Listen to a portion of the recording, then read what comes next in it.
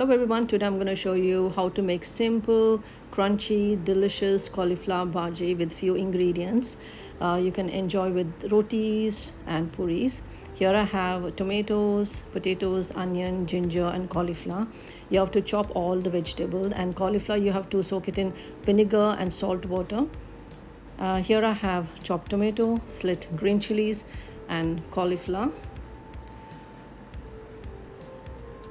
and heat oil in a pan add cumin seed onions stir until the onions are nice and soft.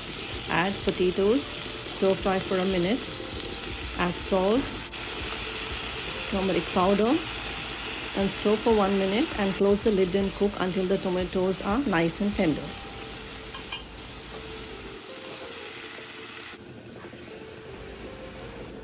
Now open the lid and check if the tomatoes are cooked. Add garlic and stir fry and uh, cook until the garlic uh, raw smell disappears. Give it a stir.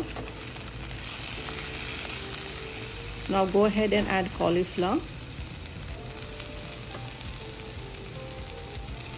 And uh, increase the heat and stir fry them for a minute.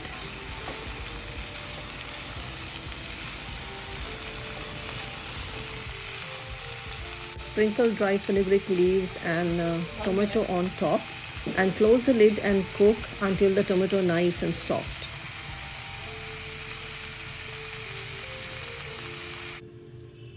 And tomato will release its juices and you will see the cauliflower cooked in tomato's juice. Give it a stir. We don't want the cauliflower to overcook. Cauliflower bhaji has to be nice and crunchy this is perfectly cooked. Now we're going to sprinkle dry spices like cumin powder, coriander powder, garam masala powder. If you need salt, you can go ahead and add salt, adjust your taste. Enjoy this with rotis and chapatis. I hope you like this recipe guys and love you and God bless you. Don't forget to like, share, subscribe to my channel. Ciao.